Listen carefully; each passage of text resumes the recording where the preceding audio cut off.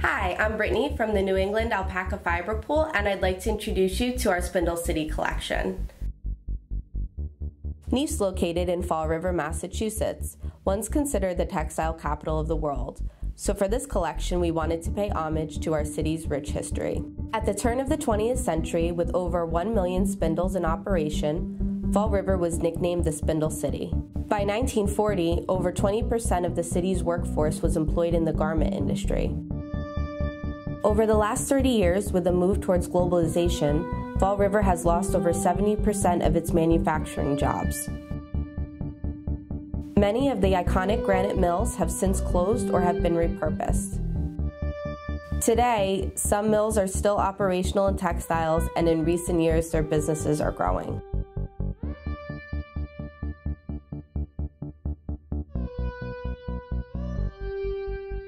With the Spindle City collection, we wanted to draw inspiration from Fall River's textile history and the iconic granite mills that continue to shape the city to this day. Starting with alpaca fiber grown on farms across the United States, NEAFP utilizes US based textile mills to produce finished clothing and accessories. The Spindle City collection designs take inspiration from Fall River's textile history as well as the shapes and architecture that continue to influence the city's culture to this day.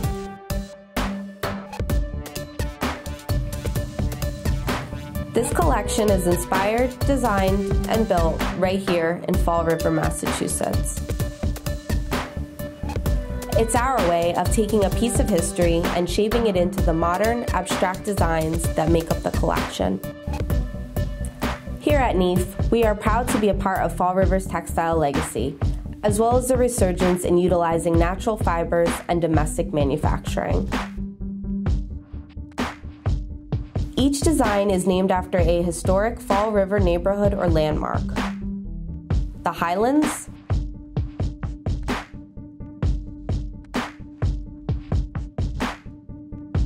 the Flint,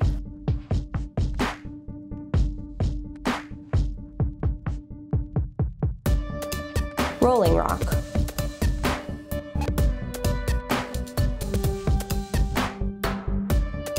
Introducing the Spindle City Collection. Made using US grown alpaca fiber, inspired, designed, and built in our home, Fall River, Massachusetts.